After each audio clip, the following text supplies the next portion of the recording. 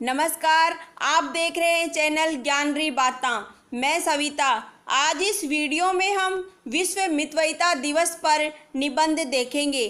शुरू करने से पहले आपके अपने चैनल ज्ञानरी बातां को सब्सक्राइब करें व लेटेस्ट वीडियो का नोटिफिकेशन पाने के लिए बेल आइकन पर क्लिक करें।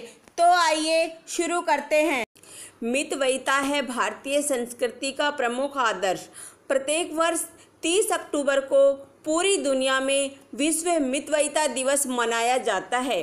वर्ष 1924 में इटली के मिलान में पहला अंतर्राष्ट्रीय मितवयता सम्मेलन आयोजित किया गया था। और उसी में एक मत से एक प्रस्ताव पारित कर विश्व मितवयिता दिवस मनाए जाने का निर्णय लिया गया। तभी से यह दुनिया भर में बचत करने को प्रोत्साहन देने के लिए मनाया जाता है। मितवयिता दिवस केवल बचत का ही दृष्टिकोण नहीं देता है, बल्कि यह जीवन में सादगी, संयम, अनावश्यक खर्चों पर नियंत्रण त्याग एवं आडंबर दिखावा मुक्त जीवन को प्राथमिकता देता है। महात्मा गांधी ने कहा, सच्ची सभ्यता वह है जो आदमी को कम से कम वस्तुओं पर जीना सिखाए। आधुनिक विचारक भी इसी तर्ज पर सोचने लगे हैं। प्रधानमंत्री श्री नरेंद्र मोदी ने इसी सोच को आकार दे रहे हैं और इसीलिए खादी और चरखा उनकी प्राथमिकता बने हैं। उपयुक्त प्रौद्योगिकी की बात करते हुए इंग्लैंड के विचारक शुमाखर कहते हैं कि बड़े बड़े कारखानों की अपेक्षा कम खर्च वाला गांधी का चरखा कई दृष्टियों से अधिक उपयुक्त है। आर्थिक विसंगतियों एवं विषमताओं को दूर करने के लिए मितव्ययिता ज़रूरी है। मोदी सरकार ने मितव्ययिता के लिए ही वीआईपी कल्चर पर नियंत्रण लगाया है। मंत्रियों की विदेश यात्राओं एवं अन्य भोग विलास एवं सुविधाओं पर अंकुश लगाया गया है। सरकार ने मितव्ययिता एवं बचत का नारा दिया है। संचार माध्यमों से पानी बचाओ, बिजली बचाओ का उद्घोष प्रसारित हो रहा है।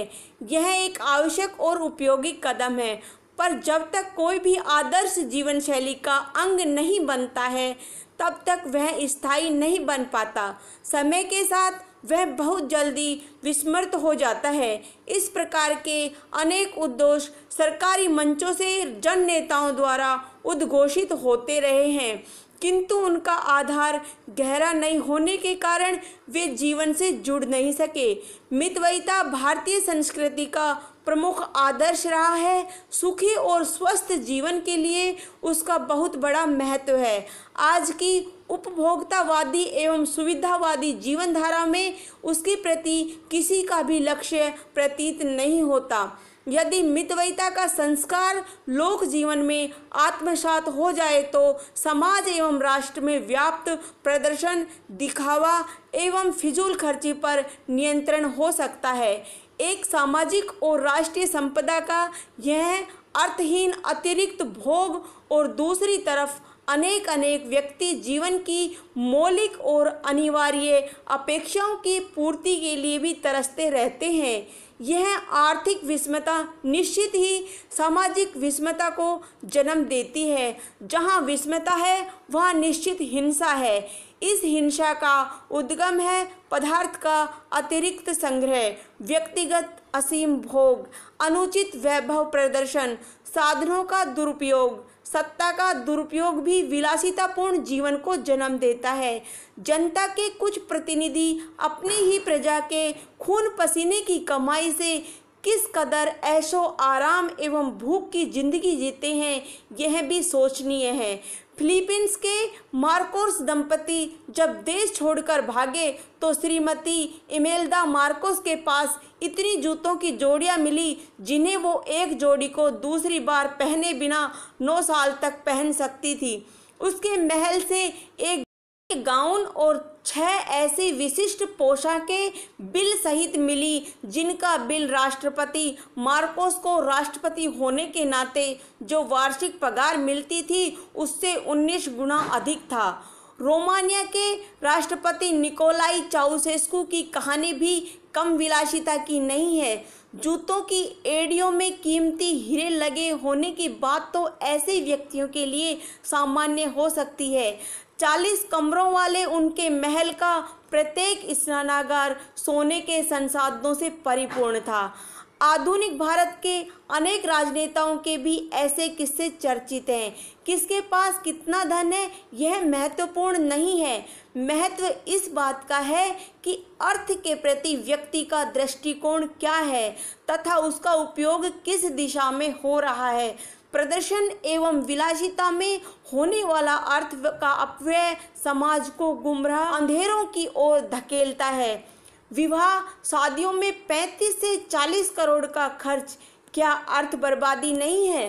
प्रश्न उठता है कि ये चकाचौंध पैदा करने वाली शादियाँ राजाभिषेक के आयोजन, राजनीतिक पार्टियाँ, जनसभाएँ, मानवीय सभ्यता और संस्कृति के विनाश के ही कारण है। इस तरह की आर्थिक सोच एवं संरचना से क्रूरता बढ़ती है। भ्रष्टाचार की समस्या खड़ी होती है, हिंसा को बल मिलता है और मानवीय संवेदनाएँ सुकिट जाती है। अर्थ केंद्रित विश्व व्यवस्था समग्र मनुष्य जाति के लिए भयावह बन रही है। इसलिए विश्व मितवयता दिवस जैसे उपक्रमों की आज ज़्यादा उपयोगिता, प्रासंगिकता है। मितव्ययता का महत्व शासन की दृष्टि से ही नहीं, व्यक्ति एवं समाज की दृष्टि से भी है। हमारे यहाँ प्राचीन समाज में मितव्ययता के महत्व को स्वीकार किया जाता था। किसी सामान की बर्बादी नहीं की जाती थी और उसे उपयुक्त जगह पहुँचा दिया जाता था। भोग विलास में पैसे खर्च नहीं किए जाते थे, पर दान पुण्य के किए जाने का प्रचलन था। पुण्य की लालच से ही सही पर गरीबों को खाना खिला देना, अनाथों को रहने की जगह देना, ज़रूरतमंदों की सहायता करना जैसे काम लोग किया करते थे। पर आज का युग स्वार्थ से भरा है। अपने स्वार्थ के वसीभूत होकर सुंदर महँगे कपड़े पहनना, फ़्लाइट में घूमना, भोग विलास में अपना समय और पैसे जाया करना आज के नवयुवकों की कहानी बन गई है। दूसरों की मदद के नाम से ही वे आफत में आ जाते हैं। अपने माता पिता तक की ज़िम्मेदारी नहीं लेना चाहते हैं। दाई नौकरों और स्टाफ को पैसे देने में कतराते हैं, पर अपने शौक, मौज के पीछे न जाने कितने पैसे बर्बाद कर देते हैं। अपने मामलों में उन्हें मितव्यता की कोई आवश्यकता नहीं होती, पर कंपनी का खर्च घटाने में और दूसरों के मामले में अवश्य की जाती है। क्या मितवयता का सही अर्थ यही है? जैन धर्म में आदर्श ग्रस्त की जिस जीवन शैली का प्रतिपादन हुआ है, उसमें मितवयता पर बहुत बल दिया गया है। पर आज उसका जागरूकता के साथ अनुसरण करने वाले बहुत थोड़े हैं। महात्मा गांधी के विचारों पर जैन धर्म का गहरा प्रभाव था। जैनत्व के संयम प्रधान आदर्शों का उन्होंने अत्यंत श्रद्धा और निष्ठा से अनुसरण किया था। किसी भी वस्तु की आवश्यकता से अधिक उपयोग करना वे उचित नहीं समझते थे। आश्रमवासी कार्यकर्ताओं के द्वारा थोड़ा भी अपव्यय उन्हें सहन नहीं होता था। एक लोटे पानी से कुल्ला करने तथा हाथ मुँह धोने का काम पूरा कर लेते थे।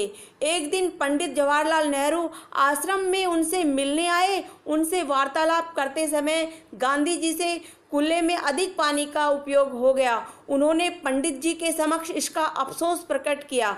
पंडित जी ने कहा, आश्रम के पास नदी बह रही है, आप इतने से पानी के लिए क्या विचार करते हैं?